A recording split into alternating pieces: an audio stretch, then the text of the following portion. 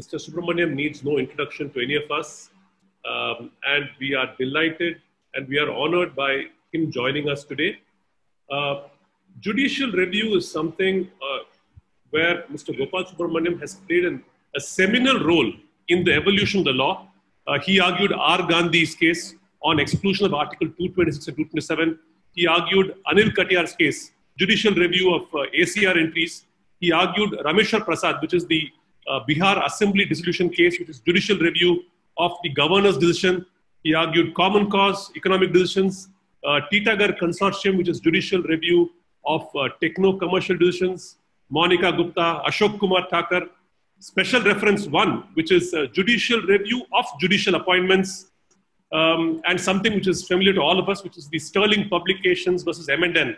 I think it's a 1993 case, judicial review of tendering process. So uh, we are so honored to have you, sir, with us today, uh, and we look forward to hearing from you. Uh, uh just a couple of uh, things. Anyone who has questions, please type in your questions in the chat box, and uh, we will ask Mr. Subramanium these questions as soon as the presentation is over. over to you, sir. Thank you. Thank you, Srinath.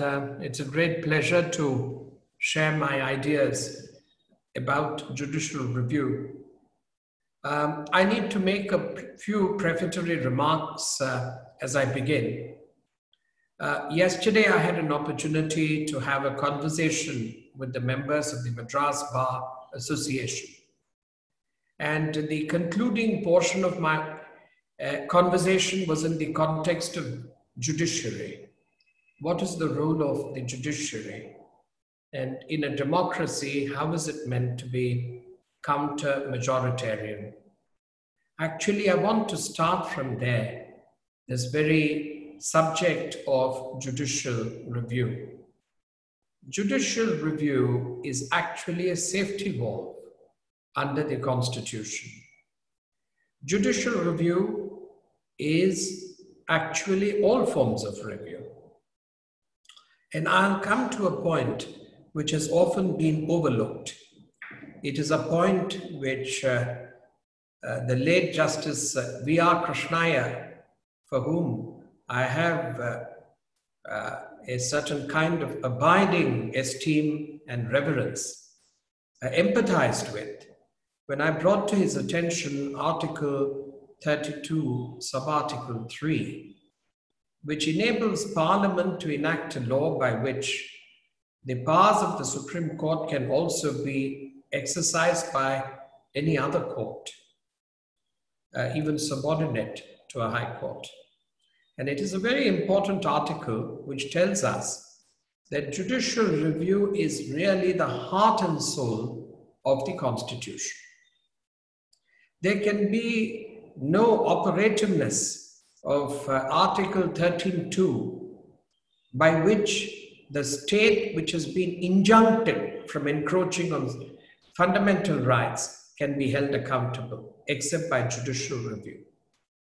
The entire rule of law, which is enshrined in Article 14, can never be implemented except by judicial review.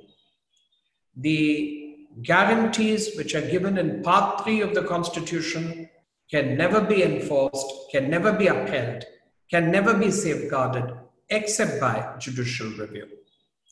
So judicial review, in my view, is very important for the observance of the Constitution and is intended to be a scrutiny by which courts can examine executive actions, administrative actions, statutory actions, statutory orders, statutory instruments, subordinate legislation, state legislation, central legislation, everything can be examined. And that is done on what, fortunately for us, we have in our constitution, which is not available in Britain, is we have a theory of legality which is set out within the constitution. So when the contours of legality are to be found within the constitution, then there is, uh, uh, there is no exclusion of judicial review. I'll come to the. I hope you're hearing me, Srinath. Yes, sir. Very clearly, sir. Okay. Uh, so I just wanted to come back to the point that when judicial review exists, the Constitution actually breathes. It comes to life. And as Justice uh, Krishna Iyer used to say very often in courts when he was hearing a matter, that is what the Constitution spake and he used to use that expression S P A K E. He would often say, and what a remarkable judge, he would say, there is only one witness you need to your actions the Constitution. Does the Constitution affirm or denounce or reject your action? That is the basis for the purpose of coming to a conclusion whether an action is legal or illegal. Now, in constitutional scrutiny, we have again multifold dimensions. We have dimensions first in administrative law. We have dimensions in relation to actions of statutory authorities. We have then scrutiny of behavior of constitutional authorities, including public service commissions. Then we have, shall we say, judicial review of subordinate legislation.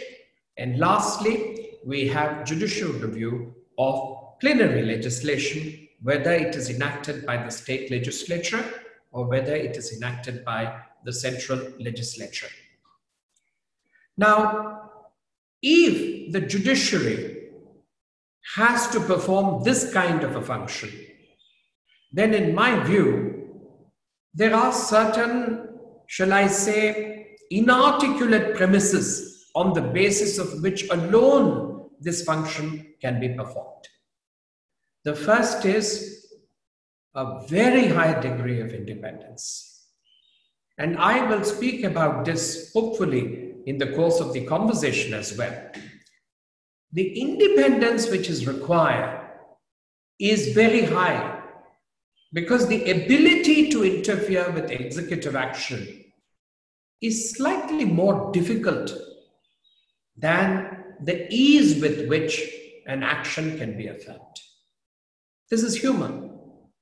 Therefore, we have to understand, even in terms of the psychological nature of the function of adjudication, the capacity to search and dig out whether the action satisfies all the parameters of rationality as is understood in the constitutional sense is something which requires an extraordinary degree of independence. And I'm saying this with reference to contemporary context. And I need to say this because I would fail in my duty to appear to be somewhat oblivious to the reality which we are facing. That it is very important that as members of the bar, we always stand up for the independent judiciary actually having the maximum, not only moral support from profession, from legal professionals like you, but I think a collective uh, support is absolutely required. Otherwise, uh, it will not be possible for judges to be absolutely independent given all the circumstances which exist in today's in today's world. The second aspect which is again a premise is there has to be a certain degree of inspiration which must have flown uh, into our uh, system. So the whole purpose of continuity of from the past and also, shall we say, continuing legal education for the future is that uh, we are human, but we have the capacity to be enriched by the savants of the past and their learning and their way of approaching cases. And we also have the possibility of having a peep into the future, which greater acquisition of knowledge and greater expertise, which we can acquire by our own effort, individual effort. This has a bearing also on uh, judicial review. Now, let me come very quickly to the first part that it didn't take very long in England. In England, it was with reference to a doctor.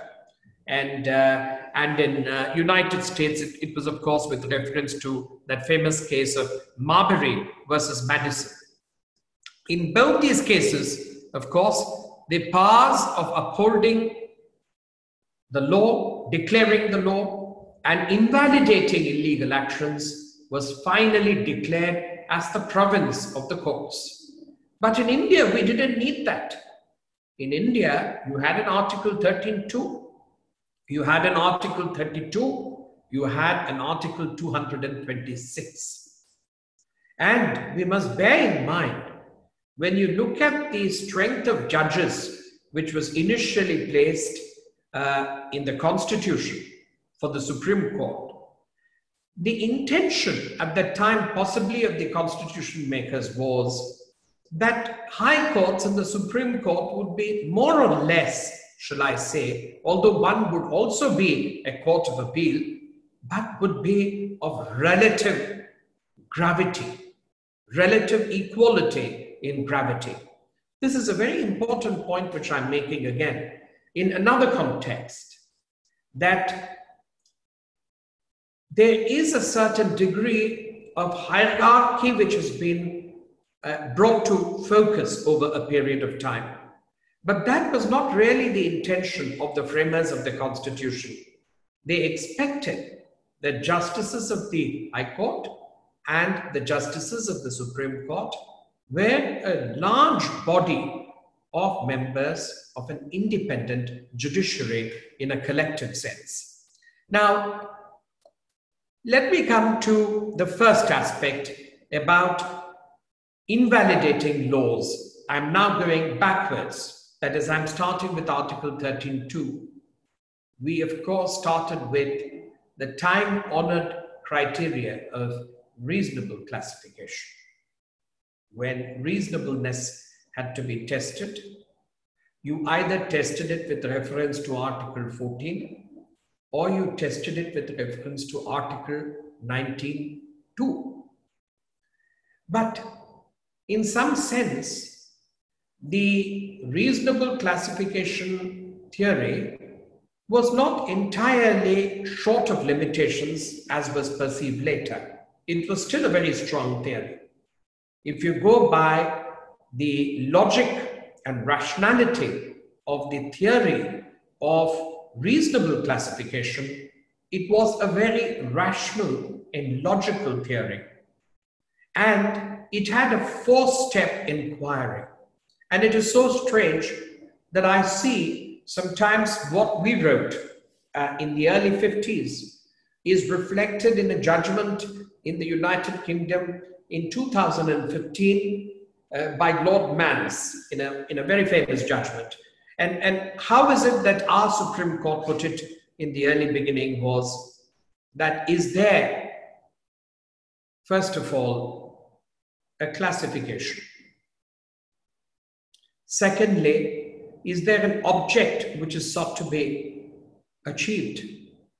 Is there an intelligible differentia for that classification? And does that intelligible differentia seek to subserve the purpose for which that law is made? Now, if the purpose is itself ignoble, it falls foul of the Constitution.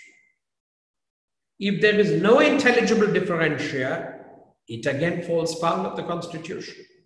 If the intelligible differentia does not actually subserve the purpose, or is, again, Justice Krishna's judgment in that land acquisition case is a masterpiece on what is collateral, collateral exercise of power. The purpose is not that, but it achieves some other purpose. It falls by the wayside. Again, it is foul of the Constitution.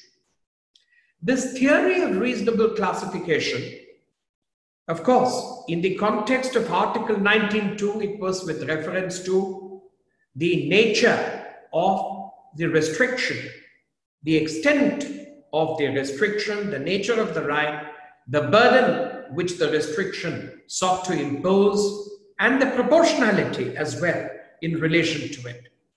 All these are matters of exposition of constitutional law in the early 50s. But later, as a result of the judgment in R.C. Cooper, when the Supreme Court rightly found that Articles 14, 19, 21, all of them were not really disparate. They had a sense of overlap.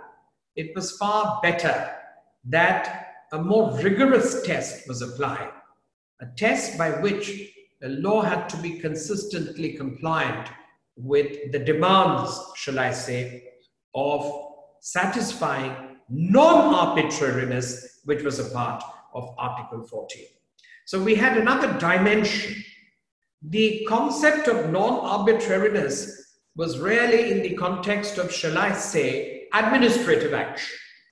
But that concept in administrative law, in uh, first in Royappa's case. Then it so happened that concept suddenly flowed into what we believe as purely constitutional law in Maneka Gandhi. And then we find in Maneka Gandhi the affirmation of the principle 14, 19, 21, all of them have to be satisfied. Then you have the rule of law. Now, rule of law by itself under Article 14 is relevant when I speak about now legislation made by a state legislature, is it ultra vires the constitution? Again, rule of law. If it is ultra vires the powers conferred upon a state legislature, it is ultra vires. Secondly, if it is subordinate legislation, is it again intra vires the statute under which it has been issued or promulgated or framed? Again, it is a question of rule of law under Article 14. So the theory of ultra vires is really a part of the rule of law. The concept of excessive delegation is again a facet of the rule of law.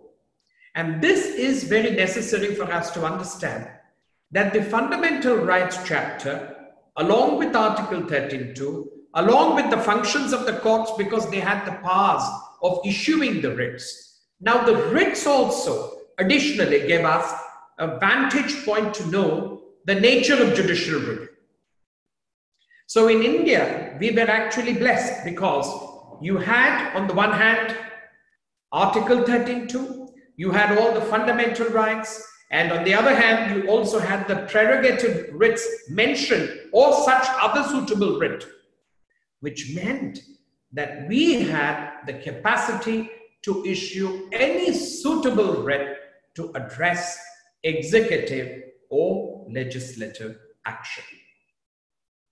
There is a judgment of the late Justice A.P. Sen in a judgment called Chingleput Bottlers. It's a very unusual judgment because it's one of the few judgments which say that you can always issue a writ of certiorari coupled with a mandamus.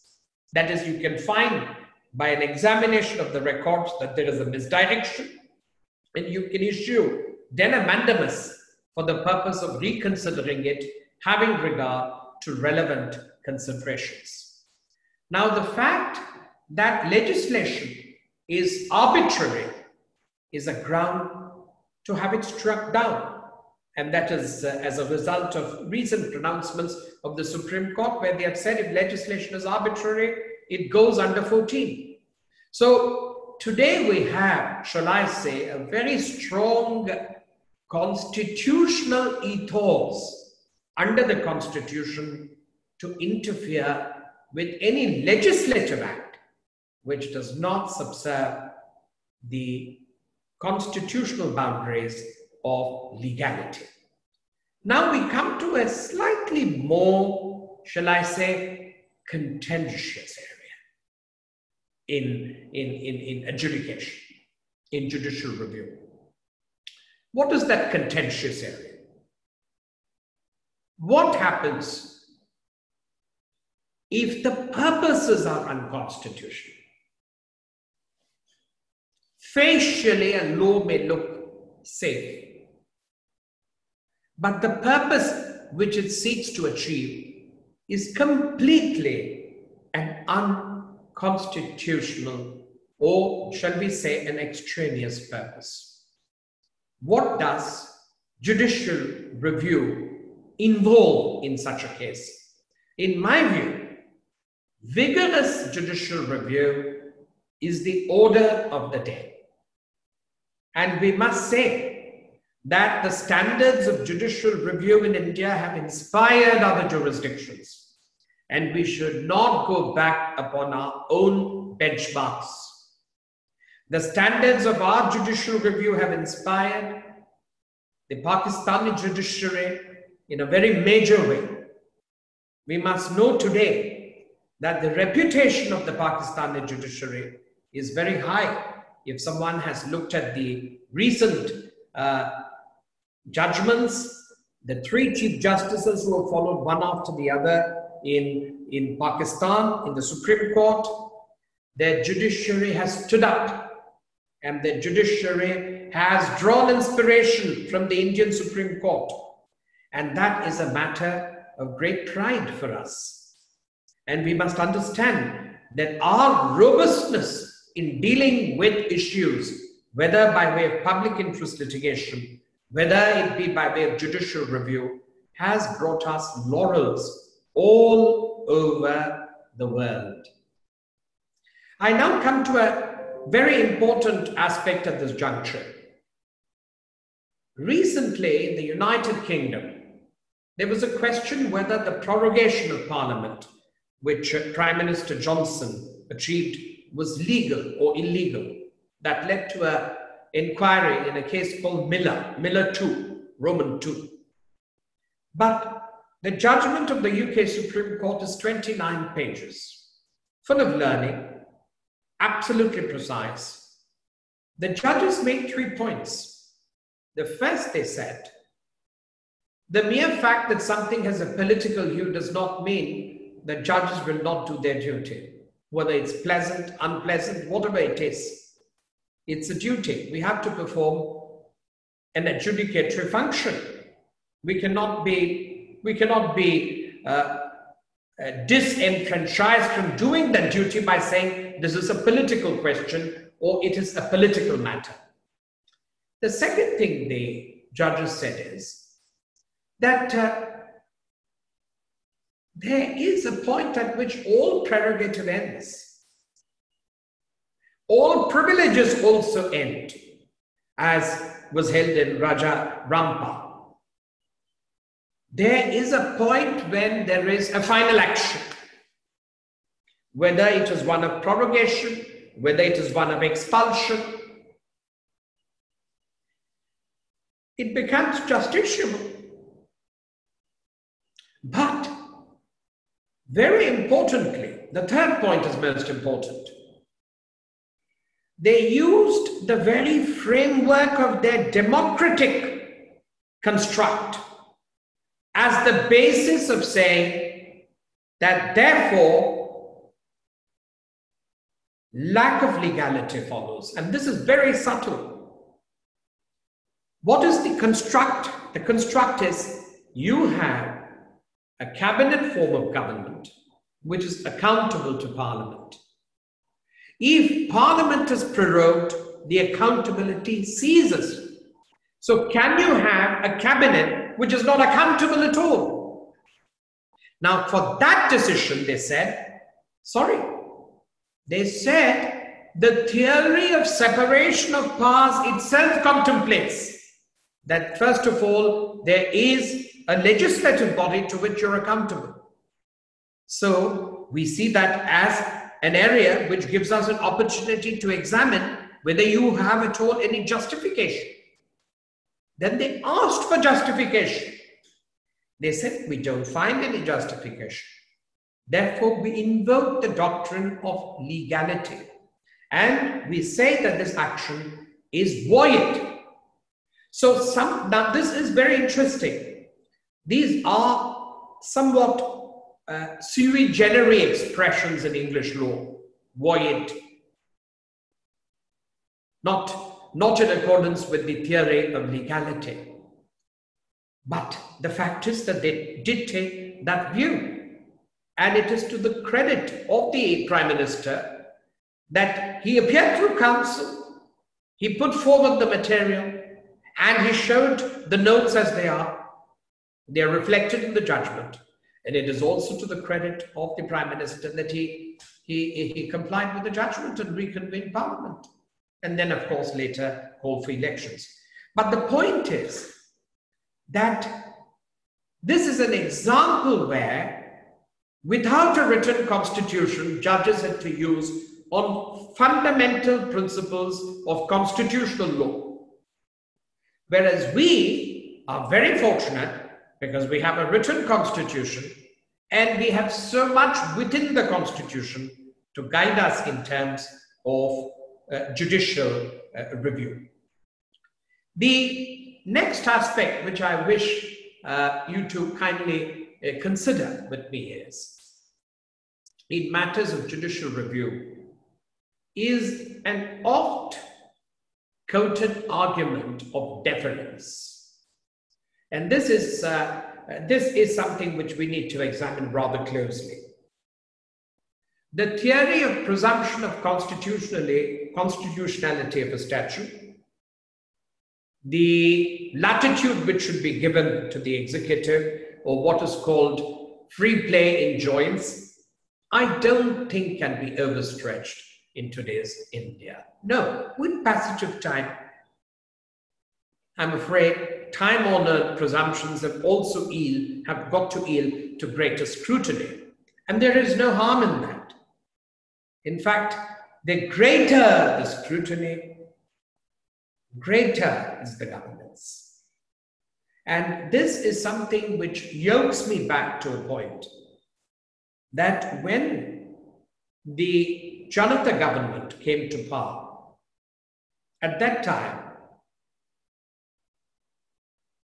and that is a very important uh, turn in the judicial history of India.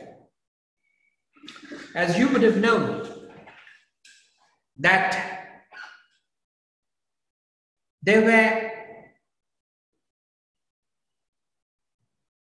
two judges who were transferred in the course of the infamous emergency era. One was a judge by the name of Sankalchand Sheth. He was a judge of the Gujarat High Court in Gandhia. And uh, I had the great privilege of appearing against him in the Supreme Court as a youngster, a man of extraordinary values and character, old world. Then Justice B.J. Diwan, who later went to the, he was transferred to the Andhra Pradesh High Court. Justice Sankalchand Sheth had filed a writ petition questioning his transfer. And there is a very important tale in this. Mr. Sheth was represented by Mr. H.M. Seervai. The matter was called out. The then Attorney General said that Mr. Justice Sheth will be retransferred to Gujarat and similarly Justice Diwan would be retransferred to Gujarat, and therefore the petitions can be dismissed. But what is very important is the court said, we will record the statements, we will dismiss the petitions. But we do think that from the standpoint of independence of the judiciary, we must say something about transfer of judges. And they dealt with the subject of transfer of judges. But there was a very important footnote to the point. The footnote was there was a self corrective ability within the government to concede what was not correct. There was also the ability of the government to permit the courts to examine the validity of their actions. Just as in Maneka Gandhi's case, again, one of the very great uh, members of the legal profession, the late Mr. S.V. Gupte, whom again I had a great opportunity to know, he was the Attorney General at that time. And he conceded in Maneka Gandhi that this order was bad. It was in violation of the principles of natural justice. And he said that he would offer a hearing. But the court said we would still like to render, we would still like to go into the matter. But the Attorney General never prevented any scrutiny.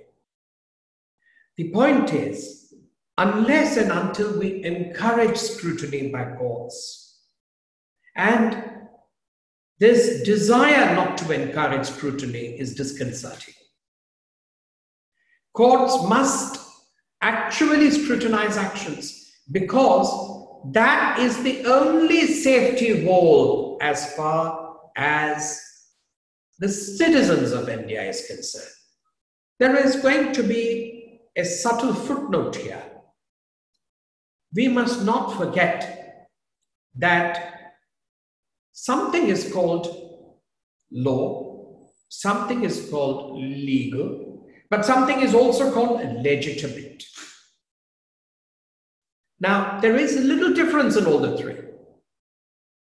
One is law, one is legal, one is legitimate. The third has a certain degree of borrowing someone's armory for the purpose of protection.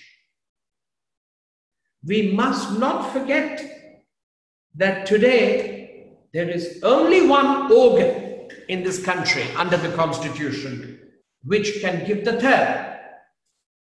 That is the judiciary by way of judicial review. So, under judicial review, it is the courts which impart a certain degree of legitimacy shall I say, to the actions which have been brought up before them for scrutiny. And therefore, judicial review has to be very careful because courts are not meant to impart imprimaturs of legitimacy unless they are completely satisfied that very high thresholds are met. Now, we must understand considerations of deference, considerations of lack of technical expertise. Yes, sometimes they are valid, but they are relative considerations. They are not considerations which have an absolute character to them. They are completely mobile considerations in the judicial calculus. Now, when you have these considerations, you still have to come to a consideration whether the action is legal or not. Notwithstanding the claim to expertise, notwithstanding the claim that this is an executive function or it's a legislative judgment, we often hear of that cliched expression, wisdom of the legislature. I don't mean that with any disrespect.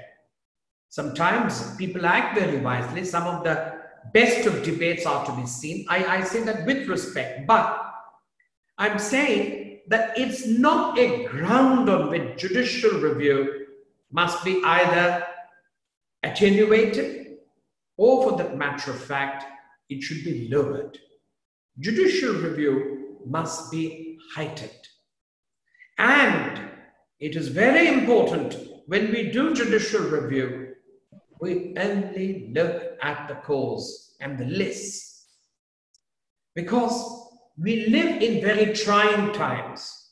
We live in times which are so trying that uh, any, any view which can be taken may have a complete aftertale of its own to unfold. But that is the great test which judges who today undertake judicial review have to undertake it. History has placed them in that position, maybe of relative awkwardness, but it is an important function. This function has to be performed with a great deal of care and a great deal of fearlessness. Because, as I mentioned to you, that the human tendency to look comfortable in declining judicial review, it is a lot more difficult and a lot more uh, stretched out and exerted, exerting on the judicial ability, discernment, and a multiplicity of factors to be able to detect what are the different interests which are actually at play. Now, I need to say something here in fairness because this is a very important point which I need to make today. Justices Krishna Iyer, Justice Desai, Justice Chinnappa Reddy, they were all considered to be what are called judges left of the center. And today I need to say this because I have been in the Supreme Court and I want to say that people did not understand quite accurately what this meant. They did not understand what did this mean being left of the center.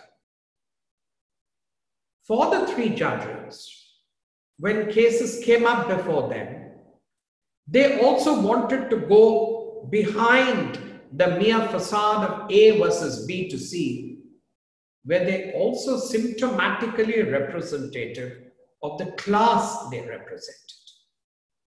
If it was a workman, he represented a class. If it was a management, he represented a class. If it was a landlord, he represented a class. If it was a tenant, he represented a class. So they did actually uncover, in my particular view, the form. And that is very necessary to bear in mind. The uh, second aspect which I need to make out is that is how a large number of appeals were admitted in landlord tenant matters.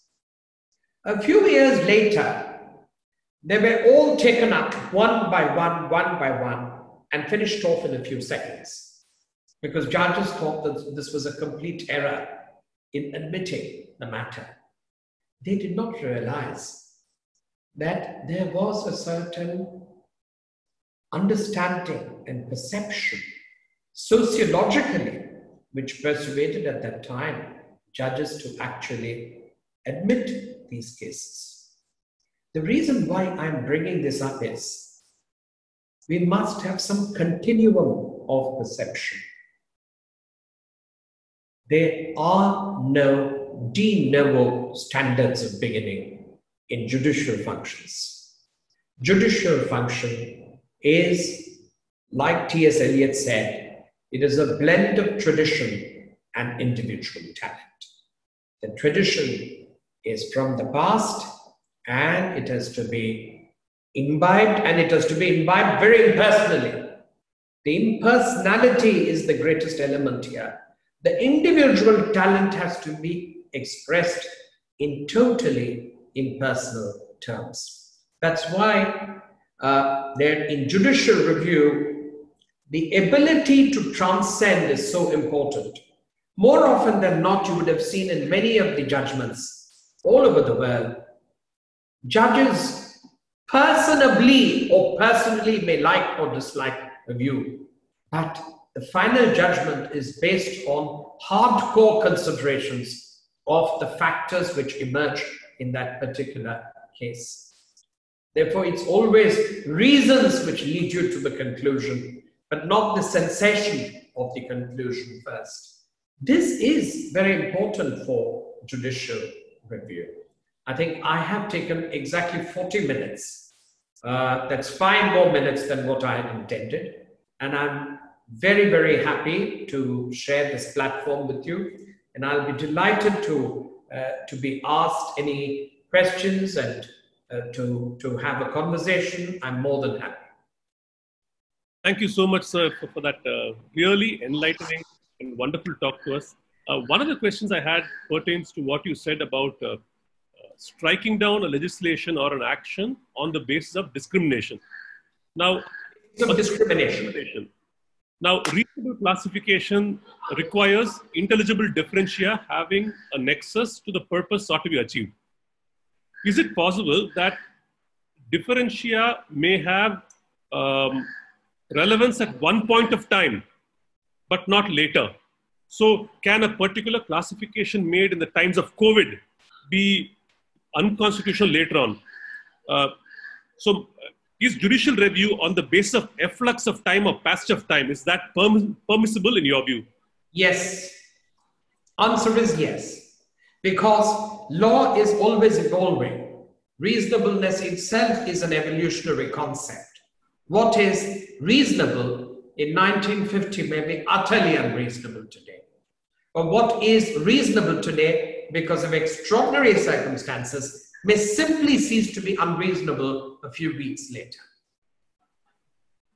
Um, Justice, uh, Justice Seshasai, uh, would you like to ask the question yourself?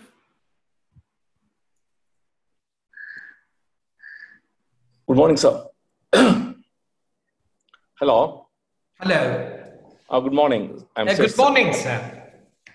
Uh, I'm just wondering, like uh, in a situation, though it is sub judice in quite a few places, and a role of a judicial review in a, uh, in a situation like Shaheen Bagh, where assertion of fundamental right, one, one aspect of fundamental right under, under 191A, as in come in conflict with uh, another right of fundamental way of right of mobility. And uh, what is the role of judicial review in such situations? Well, uh, so to be very honest with you, no, I'm glad that you asked this question. And I think I, I have to give an answer to this uh, today. It is very important. And, and may I, I just write the please, whole idea, please. the whole idea is hitherto I understand from whatever I get to read from uh, I mean newspapers or social media, judicial review means it's all about court trying to protect the, I mean, I mean, the rights of the citizen from the executive or from the, the state.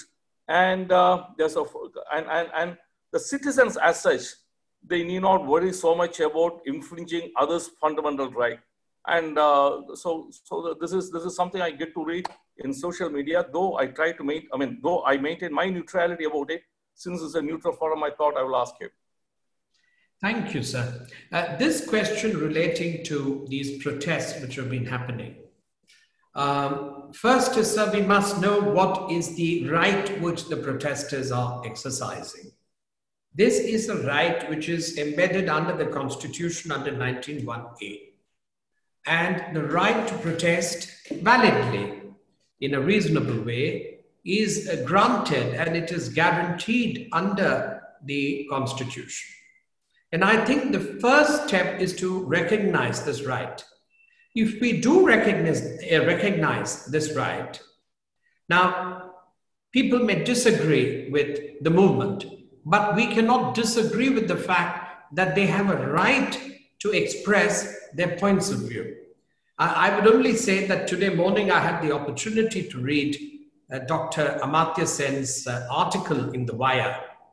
And uh, he also, I mean, more or less, uh, we all take the same position that in a democracy which is governed by the rule of law, we have to first acknowledge what are the rights which inhere in the protesters. The second, the right of movement, which you mentioned. These are matters where there can be a certain degree of flexibility which can be achieved. But that's a separate point. But merely because the right, the protesters are large in number and are occupying the road, is not a ground to say that they don't have a right to protest. Therefore, the right to mobility, suppose you can find, sir, the mobility in just taking the other side of the road for 600 meters. I do not think that mobility is at stake at all. So, with great respect, and although these matters are pending, no. I feel, uh, in, in terms of my own uh, independent perception, that the relative strength which you have to give to a right is the crucial point. Do no. we give recognition to the right of a person to hold a view, or are we really allowing that to be subordinated to mobility of traffic on the road? No, I'll just try to actually uh, want to uh, add a supplement here. May I? Please, no. please. The point is, I do not say for once that uh, the freedom, I mean, the fundamental right to free speech must be subordinate to anything. All I would rather try to believe that notwithstanding the fact that Article 19, the rights are, I mean, uh, uh, uh, typed in a certain serial, uh, in a certain seriatim, the one in the uh, above must be given preference to the one uh, below because it all depends on ultimately balancing it. My only concern is whether judicial review is all about managing the fundamental rights of an individual vis-a-vis the, uh, I mean, uh, uh, the state, or is there not judicial, so should not the judicial review extend itself to balance the fundamental rights of both categories of citizens? Because Sir, actually, I, I'll just I'll finish it. One, one more sentence. Please. Here, the state is not interfering. For suppose, for in, uh, for instance, I, for, I come to the court as a citizen. I say, let somebody file, I mean, express the free speech. I have no worry about it. But where is my right of way? The constitution has given me. Who is to say that which is superior, which is inferior, how to balance that right? The state has not interfered. Only I say as an individual, I want to use this road. This probably is, I mean, one can, how you want to balance it. So this, and whether in this context, the role of judiciary in the context of constitutional judicial review under the constitution, it is not something between the citizen and the state, but citizen and the citizen, and the state is a spectator. How we are, how we are going to position it? Sir, this is a very, very, uh, very valid point. Let me take up the first point, which you talk, which you mentioned about balance. Sir, usually, uh, I, speaking for myself in standards of judicial review, there has to be clarity in coming to a conclusion that in a dialogue of rights versus the state, rights of a citizen versus the state, the citizen either has the rights or he doesn't have the rights. But there is nothing called the right of the state per se. And I'll develop this in a moment. That is as far as the first point is concerned. However, when you use the word balance, that's very important. The theory of balance comes in when there is a defense to encroachment of rights on the basis of what we call in jurisprudence as competing interests. Now, competing interests or the claim to competing interests is completely justiciable. And there, sir, in judicial review, one would have to examine whether these com competing interests are a real, and second, are there sufficient justification for the purpose of justifying encroachment on fundamental rights? The second question which you posed, what happens where the state is a spectator? And there are two individuals, one who asserts the right to free speech, and the second who claims that he must have the mobility. Now, so there the examination is, it's not one of supremacy of rights. There it may be equally important for the court to examine that is there a severe inconvenience or public interest which is jeopardized in terms of mobility? It's a perfectly valid question. However, if the court is satisfied that it is within the realm of executive management, the control of mobility, it will first ask the executive to look at it. But it will also be very sensitive to the fact that there is a primary right which is also being asserted by way of free speech. These sometimes can become a little more contested, contentious. But as you rightly said, sometimes it is a question of clarity. Either you have rights, if you have rights, the state can't claim rights, it can only accord, it has to recognize the rights.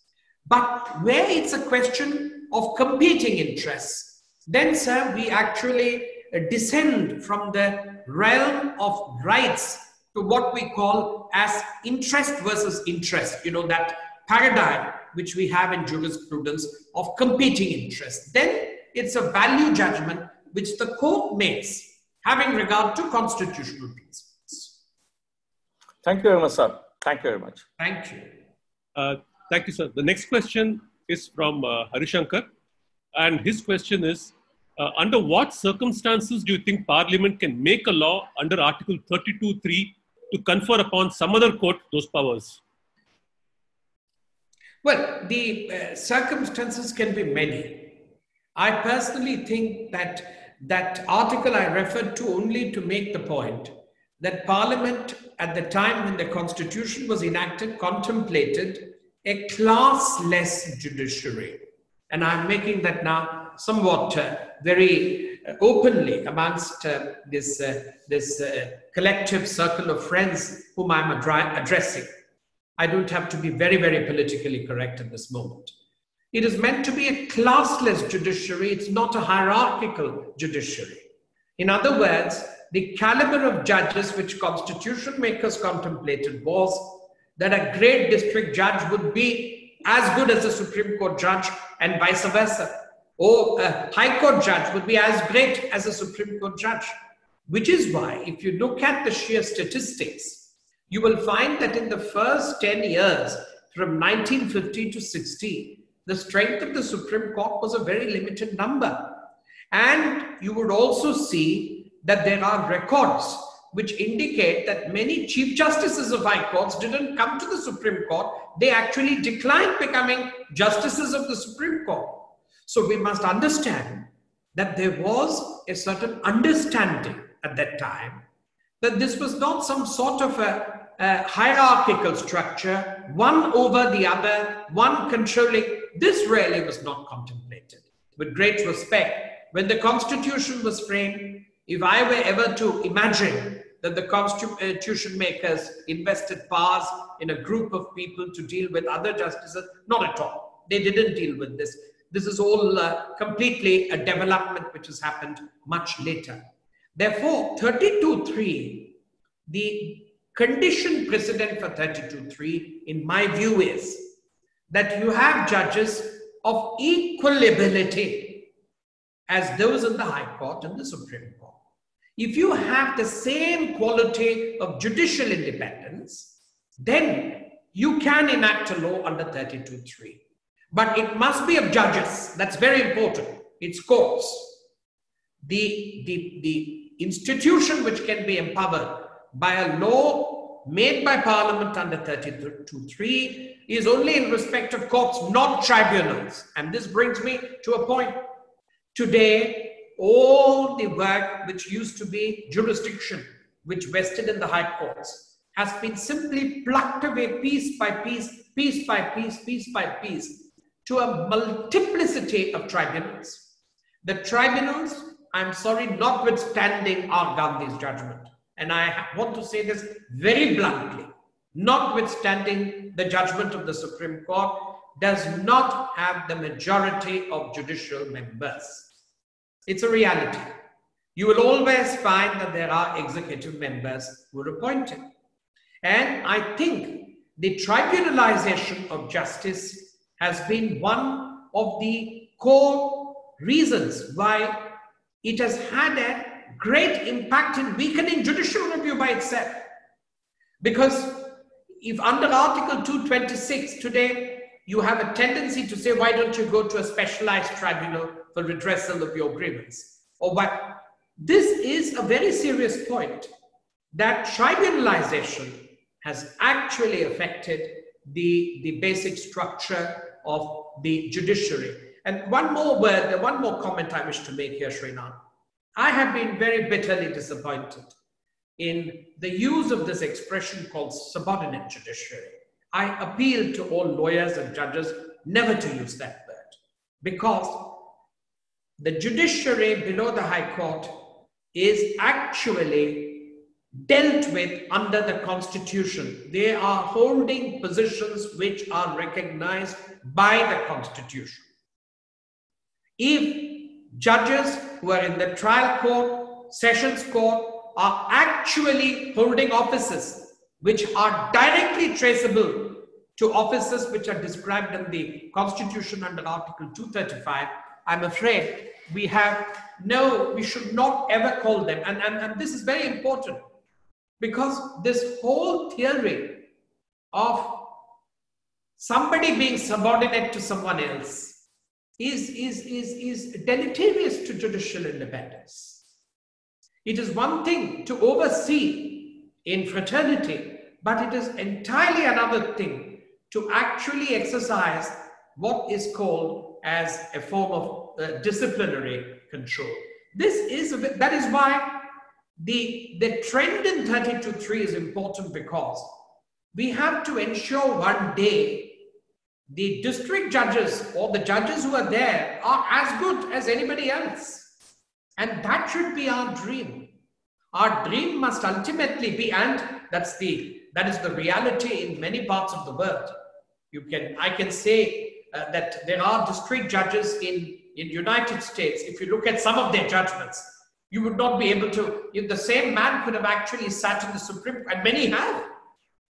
There are many judges who you know have marched from very, very small positions, but they've come right up to the top. But you will also find many judges who have rendered judgments in the in the in the in the in the district court. They are as eloquent as judgments of the highest court.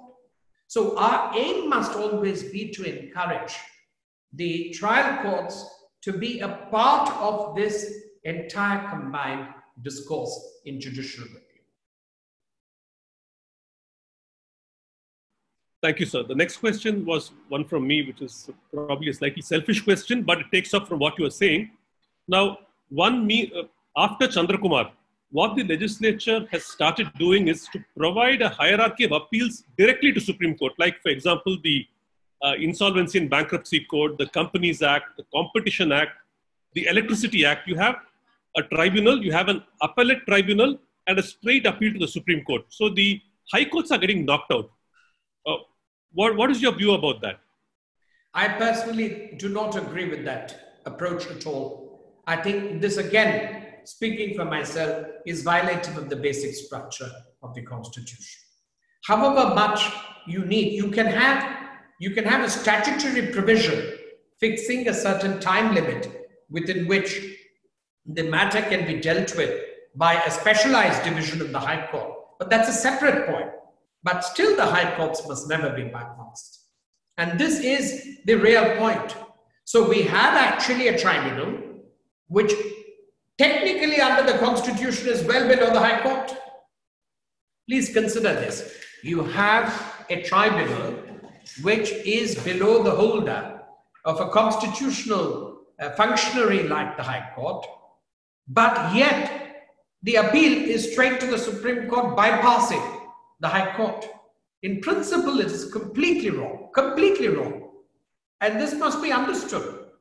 So the fact that you have a former judge of the Supreme Court who is the chairman of a tribunal does not make any difference, not a jot of difference to the point that the tribunal is under law subject to scrutiny by, uh, by, a, by the High Court in constitutional sense. Let me give you another example. Suppose you are an arbitrator and uh, you, you render an award. You have to take the consequences of your award being impeached in whichever jurisdiction the proceeding can competently lie. Which is why there were earlier orders which used to be passed, I mean, in the exercise of these extraordinary powers by the Supreme Court, like Article, all obviously it was with reference to Article 142, but they would do it very often in cases where they referred matters to arbitration, that the award will be filed in this court. If it was a former judge of the Supreme Court, they would add a further line. I'm talking of the pre-1996 regime. They would pass an order that the award shall be filed in this court. That's the Supreme Court. But then there was a considerable amount of criticism of that as well. Because should the normal process of law be supplanted? And that is why Article 142, right from the time of Justice Gajendragadkar, who was absolutely clear, his position, Premchand Garg, has never been diluted. That Article 142 can do justice in circumstances which are not occupied by a statute, but where the subject matter is actually covered by a statute, then in that particular case, it cannot be supplanted. It cannot be. An order inconsistent with the statute cannot be passed. That was the judgment in Antulay. That you cannot pass an order which is at variance with the statute. Thank you, sir. Uh, next question is from Bhaskar, who asks you, in your opinion, where is the balance between judicial activism and judicial restraint in the course of judicial review? Well, first of all, public interest litigation was intended to be an effective instrument for the purpose of ensuring that rights were available to the underprivileged. Before public interest lit litigation became very pronounced in 1980, we must not forget that there were pronouncements uh, by Justice Krishna Iyer and Justice Bhagwati in the early 70s. Justice Krishna Iyer also was one of the first uh, progenitors of legal aid in this country. Yeah, very few people are aware that uh, he had, uh, he had, of course, a multiple, he, he was a polycentric person. He was a minister, he was a member of the Law Commission, and he was also perhaps one of the uh, most legendary figures in our, uh, our judiciary. One, I think, uh, I, I, don't see parallels of that uh, person, will not be able to see that. But the point is that legal aid and access to justice, public interest litigation, actually got intertwined with each other. This is very necessary to understand. You cannot have access to justice unless you give legal aid. Now, to give legal aid, you must also have the capacity of someone else representing a person or espouse a cause in public interest. So, therefore, the three were intertwined, and you had then a certain evolution of law in public interest. Now, any remedy is also susceptible to misuse. But the fact that it can be misused or is misused or is abused must never allow us to decry the value of that remedy. The fact that some people are misusing the remedy, there are other means by which judicial orders can take care of that kind of a situation of abuse. But it is not a very good ground for the purpose of decrying or denying the validity of that remedy.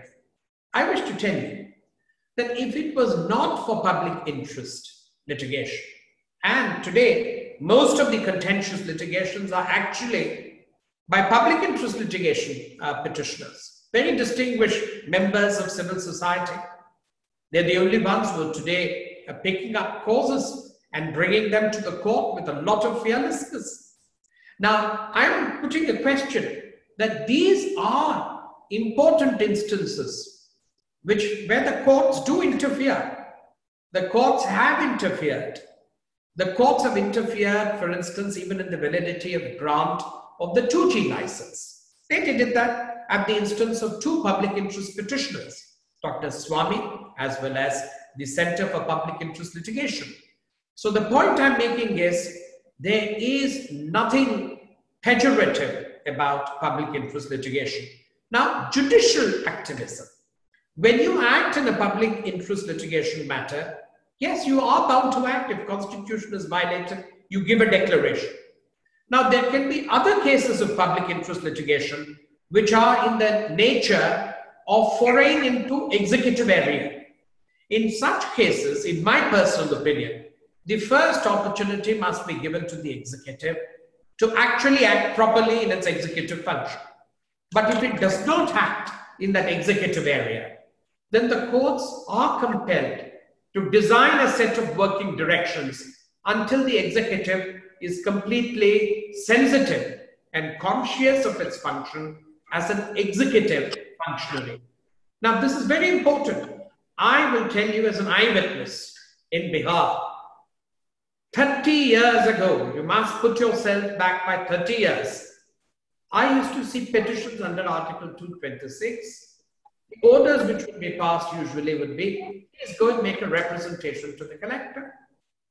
Petition two, please, you passed an order. Why don't you please get that order enforced? Another order, please do it within four weeks. Then a third order. And now please understand, people were running out of breath, coming to the court, going back to the same authority was denied them justice.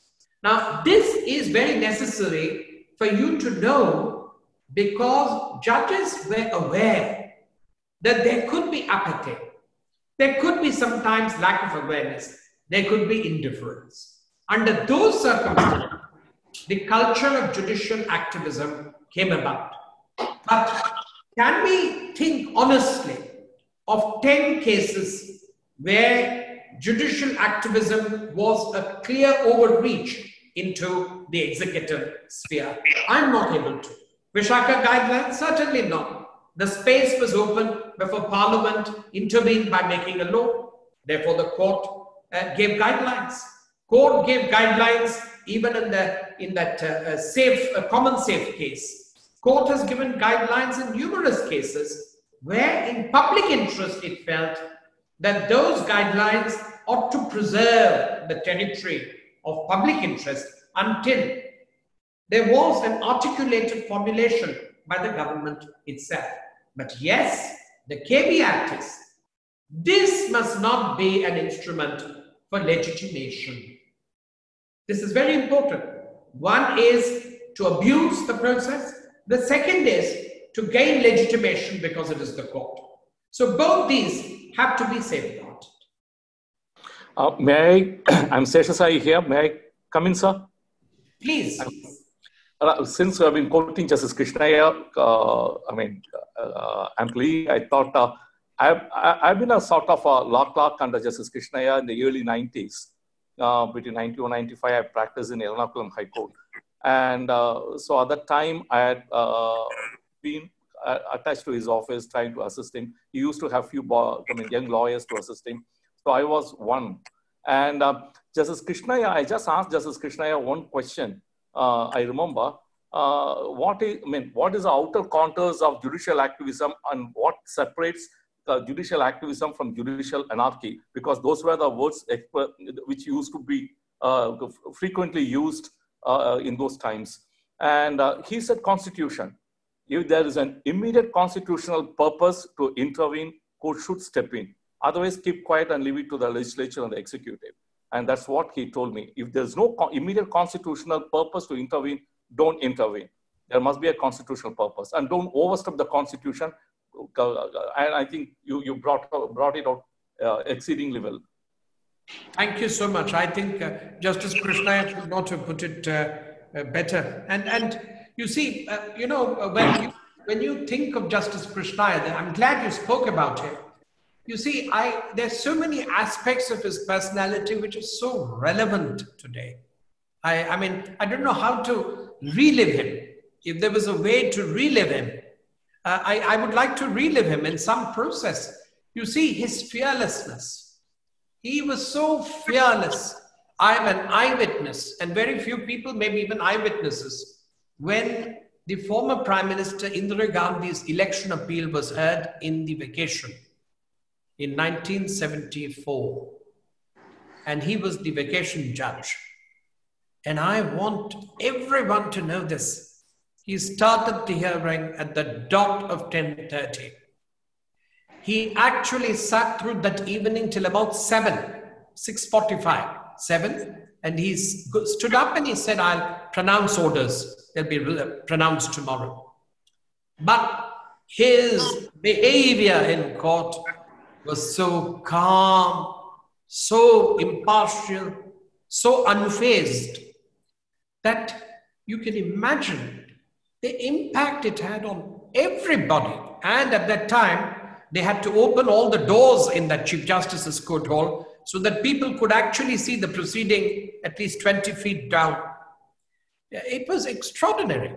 And uh, his conduct in court, even in presiding over as a judge, the questions which he posed, and at that time, uh, there were some uh, compelling standards of conduct which he expected from lawyers. Lawyers were officers of the court. Lawyers had a duty to be accurate. Lawyers had a duty not to raise an uh, impertinent point. They never could address the court improperly. And above all, if you were appearing for the state, it was a duty to concede what was wrong. Now, I find that over a period of time is viewed as a matter of utter suspicion. But in Justice Krishna Iyer's time, he would very often, if suppose, he, and, I'm talking of the uh, topmost law officers of the country, they were extremely particular when they appeared in Justice Krishna Iyer's court, lest they said anything which was not appropriate for a law officer. He compelled very high standards to be maintained.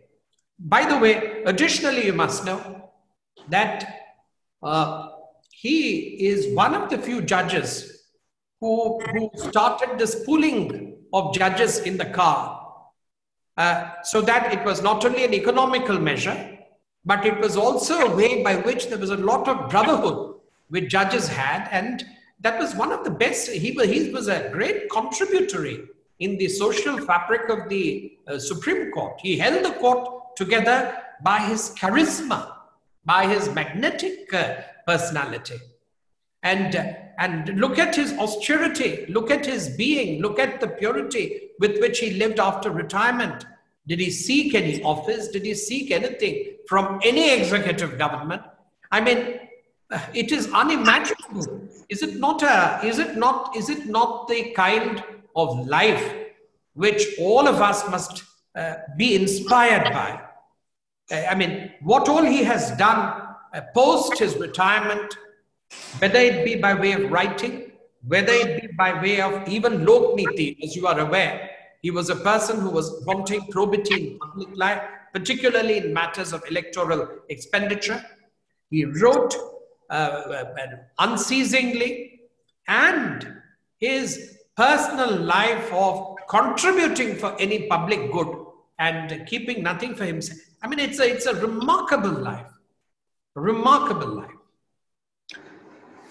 So I have a follow-up. This is Bhaskar here. I have a follow-up question in yes. relation to uh, judicial activism and the exercise of powers under Article 142.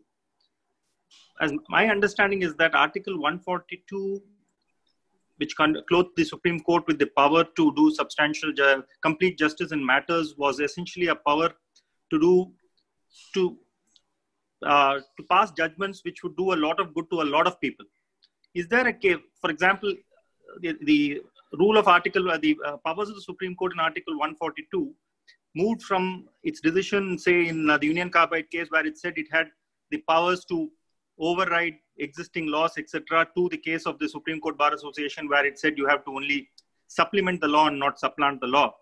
And now we've seen the COVID related judgments which extend limitations, etc., which again uh, was the exercise of powers which might, I feel, have been exercised by the parliament through an ordinance or a state legislature through an ordinance. I just want to know whether there is a case for limiting the exercise of power under Article 142 to only constitutional courts and not have non constitutional courts use 142, no, I mean a constitutional bench rather, and limit the exercise of the power of 142 by courts which as by the Supreme Court while deciding inter-party disputes in exercise of its appellate powers? Well, uh, you see, under Article 142, uh, like Justice Venkatachaliah mentioned in the Union Carbide judgment, the source of that power is from an independent constitutional provision, which is a reservoir which is not uh, akin to any statutory power. And that is correct. That's the first point. But when you are exercising that power, you obviously cannot uh, supplant a statute. But if suppose, let us say, a statute is incapable of being complied with, let's take a case like COVID-19, that it is impossible to, uh, to, to file applications, you, the court can, ex debito justitiae under Article 142, pass suitable directions because it has that power. And you will notice that in cases where they have passed directions, what are called omnibus or group directions, they have passed in cases where it may not have been just parties before them per se, but they have done it for the collective benefit of a group of people or people who needed to be addressed in a particular way. The question is whether this power is available to high courts uh, under Article, although the Supreme Court has said that they alone have that power because of the presence of Article 142. I have always maintained personally my opinion that discretionary writs by the High Court can also be granted subject to the condition that is not in violation of a statute or is not inconsistent with the statute. But uh, mandamus can be so fashioned. Uh, it depends upon a certain degree of craftsmanship, but it can be done. But the fountainhead of power like 142 may not exist in the same width and amplitude, but discretionary writs can be granted under 226. Thank you, sir. Next question is from Anita, and her question is Is judicial review the sole prerogative of the superior judiciary, or can other bodies also exercise judicial review? Other bodies exercising adjudicatory functions, can they also exercise judicial review? This is a very good question. Um, the adjudicatory bodies like tribunals actually are meant to be specialized bodies.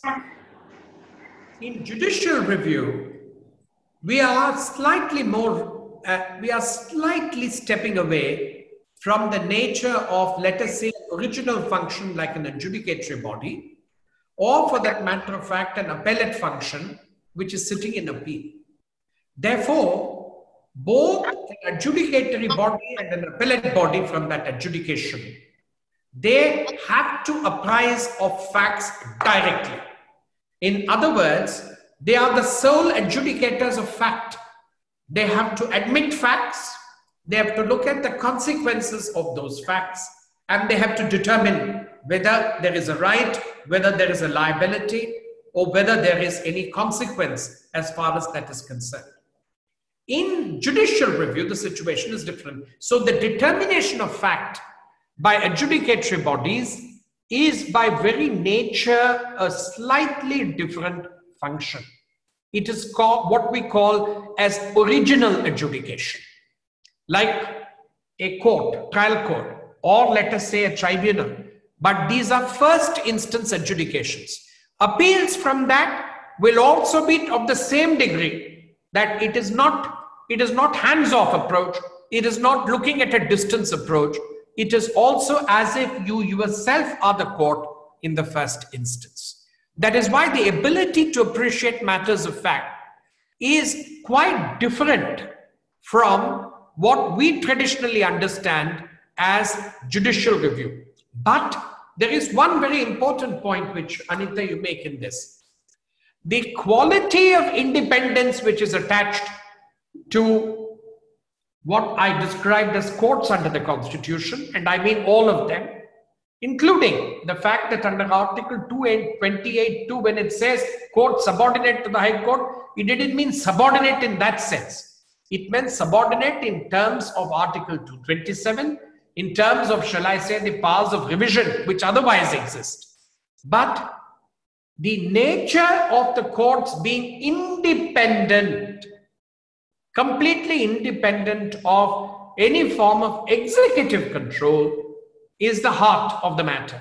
Similarly, when we are talking about even original adjudication by tribunals, the comparability must be that if those tribunals can actually result in lawfully enforcing decisions, then they must have the comparable character of what we call as the adjudicatory, uh, as the courts. So their, their, their structure, the men who are appointed there must be as good as judges.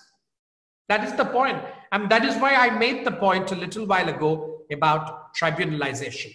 So to sum up, there is a technical distinction between original adjudication and, but at the same time, in terms of the capacity and the manpower who must actually be there, there must be such people who are identically structured as judges. Thank you, sir. Uh, the last question is from Bhaskar. Uh, do you think the time has come to have a National Court of Appeal which will exercise the ordinary appellate power of the Supreme Court of India and leave a Supreme Court intact to hear only constitutional issues and, of course, federal interstate issues? And I uh, add one more question, please. Sesha yes. here. How you position 136 in the context of uh, National Court of Appeal, if, it, uh, if at all it comes? Sir, my personal opinion is that fragmenting courts is always not advisable.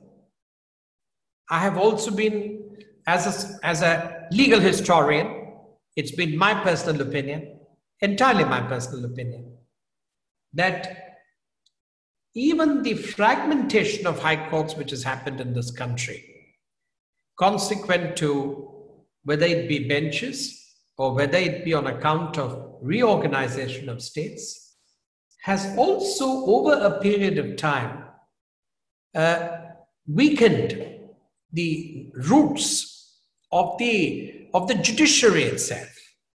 Now, the fragmentation of courts is something which must always be avoided. A national court of appeal, in my view, sir, is not needed. Secondly, sir, I maintain it depends on how we, if we are in the Supreme Court, we have to enthuse the High Courts, and the High Courts, sir, will always rise to the occasion. I have personally seen with my eyes, and I am now repeating it to you. And this is the kind of honor which High Courts have enjoyed in the Supreme Court, but I am saying it because I've seen it myself there was a judgment in sales tax from the Madras High Court. It was a judgment written by Justice uh, G. Ramanujam, if my memory is correct. The matter came up before Justice Chinnappa Reddy. Justice Chinnappa Reddy said, uh, I find that this learned judge's judgment is extremely well reasoned, and I have been reading a few judgments in tax matters. The conclusion is correct, and immediately dismissed the petition. But he said very candidly, I have been reading the judgments and they appeal to me because there is a lot of. I'm now giving you yet another example. That matter came up from the Madhya Pradesh High Court. It came up before Justice Sen. And it was from a judgment of Justice G.P. Singh, who was a colleague of his, a good friend of his, possibly, who didn't have the opportunity to come to the Supreme Court. And he said this is a judgment uh, by one of the most learned Chief Justices. And he said, I just want to let you know, he was the one who ought to have been here instead of my place. And we were all stunned that a judge spoke like this. But the point I'm making, sir, is the degree of respect which is accorded is that is the way we will have a complementary system of knowing that the functions which are performed by the High Court are almost at the same level. This idea of National Court of Appeal, sir, I'll tell you, the more courts you invent as appellate courts, the more they will even travel to the Supreme Court. Article 136 sir, is again, I submit, is really predominantly only for the Supreme Court. And in fact, if you look at all the orders in the 1950s and 60s, sir, please permit me to say, they had very clearly defined rules for admitting a matter and not admitting a matter. They did not go by any form of perception. They said if there was an error, they would not hesitate to admit the matter. Even if it was an interlocutory order, they would admit the matter. So it is also a matter of certain expectation and judicial discipline by which this can be easily dealt with. To have an intervening court of appeal, in my view, is actually going to be deleterious to both. It will be deleterious to the Supreme Court, and because they will have the same number of appeals from the National Court of Appeal, even if you say it is, if it is uh, final, but people will still approach the Supreme Court for a question of law.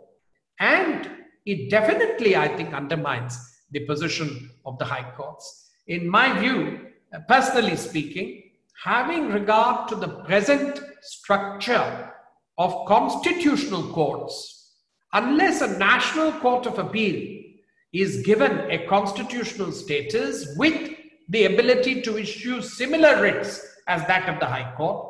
But, sir, that is already addressed by an intra court appeal in the High Courts itself. So, I do not see for myself any need to have a National Court of Appeal.